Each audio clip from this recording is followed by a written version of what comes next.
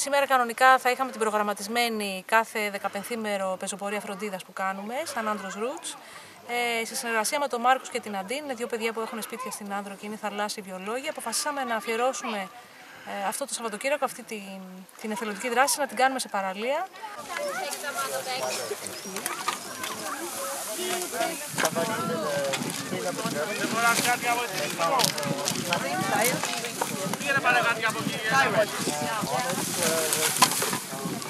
Normally we collect garbage on our own because we like diving and we are often on the beaches.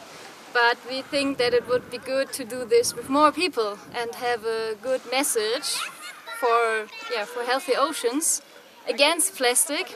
So maybe we can have a message to all the people to do the same. And we are doing it on Andros because uh, we are coming here since many years and we love this island and also Greece. And that's why we wanted to uh, invite the local people to help us uh, create this piece of art and Yeah. make an impression. Ε, ταυτόχρονα συμμετέχουμε και στην καταγραφή κάποιας μεθοδολογίας επιστημονικής, μαζεύοντας πάρα πολύ μικρά σωματίδια, τα λεγόμενα nurdles, ε, από την άμμο, για να δούμε σε τι, σε τι ε, επίπεδο υγείας βρίσκεται η ακτή. Κοίτα μαμά, ένα φύλλο του γίγαντα. Ήρθε πάρα πολλοί κόσμος που δεν περιμέναμε να έρθει. Είχαμε περίπου 25 συμμετοχές, πολύ σημαντική παρουσία του σχολείου του Γαβρίου, του γυμνασίου και των εκπαιδευτικών τους. Κάνουμε ένα πρόγραμμα στο σχολείο με τη γάμα γυμνασίου που λέγεται Νεαρή Δημοσιογράφη για το Περιβάλλον και προσπαθούμε ακριβώς να δείξουμε ότι μπορούμε να παράγουμε πολύ λιγότερα σκουπίδια, να βοηθήσουμε το περιβάλλον και να αποκτήσουμε μια νέα νοοτροπία και εμείς και οι γονείς μας και οι φίλοι μας. Yeah, we have many pupils here who helps us and they have a project in school that fits together and yeah, I hope we will get ready soon.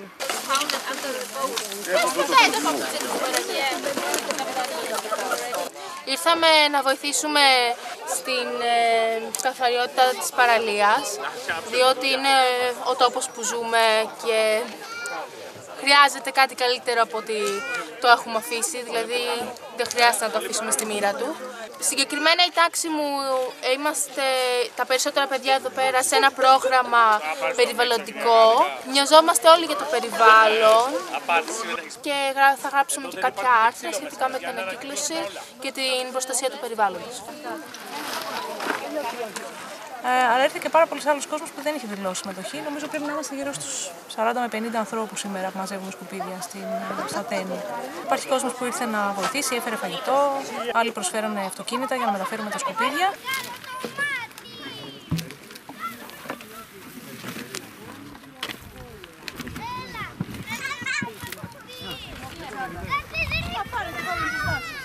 Um, now we have, I think, two hours collected the garbage and we want to make a, a picture and we decided for an octopus.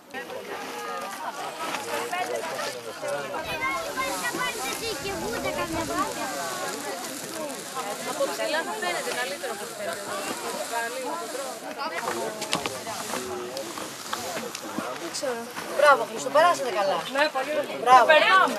Και περνάτε,